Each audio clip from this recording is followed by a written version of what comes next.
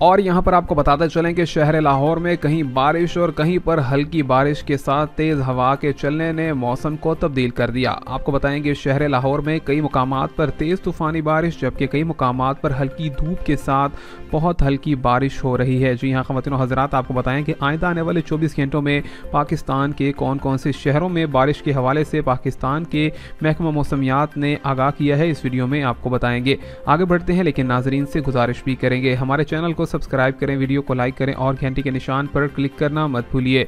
खवतिन हजरात, आपको बताते चलें कि शहर लाहौर में गुजशत रोज़ भी कहीं पर तेज़ बारिश और कहीं पर हल्की बारिश के बाद नशेबी इलाकों में काफ़ी ज़्यादा पानी खड़ा हो गया था, जिसके बाद एक बार फिर से महकमा मौसमियात ने अगले चौबीस घंटों के हवाले से भी यहाँ पर शहर लाहौर में कराची शहर, फैसलाबाद, गुजरावाला, सियालकोट और इसी के साथ साथ यहाँ पर सिंध के काफ़ी ज़्यादा शहरों के अंदर यहाँ पर बारिशों के हवाले से नया हाई अलर्ट जारी किया है।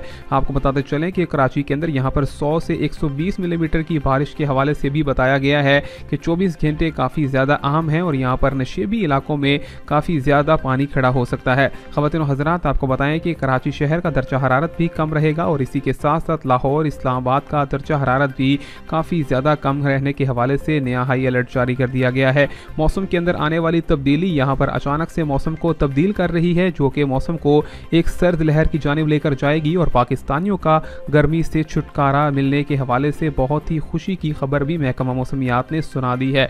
इस हवाले से आपका क्या कहना है? कमेंट्स में ज़रूर बताइएगा। आप मिलेंगे नई वीडियो में। तब तक के लिए खुदा हाफिज़।